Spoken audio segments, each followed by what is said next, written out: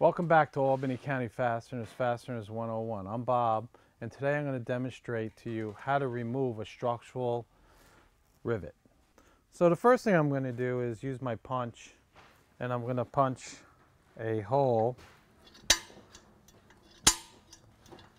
So I have a starting point for my drill. I'm going to add some lubricant to my bit as I always do. And I'm going to find the center here. And this is the structural rivet that I'm removing that's in place. And we're going to clear the hole out.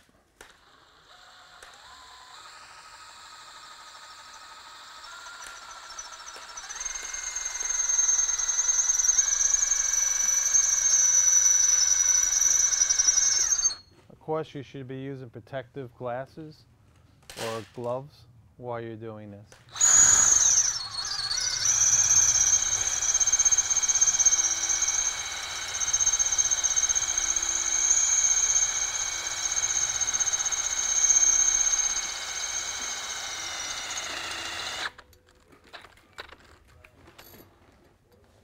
Almost there.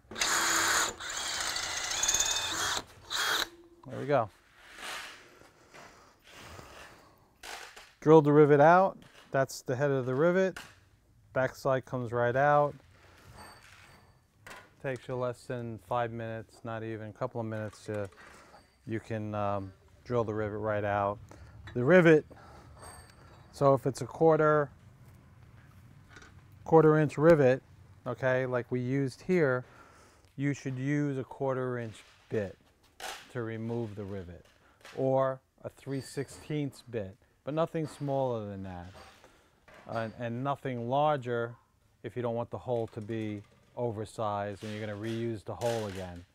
So you basically want to use the same size as the rivet that you installed it originally. And that's how you remove a structural rivet or you could remove any um, pop rivet in this demonstration here.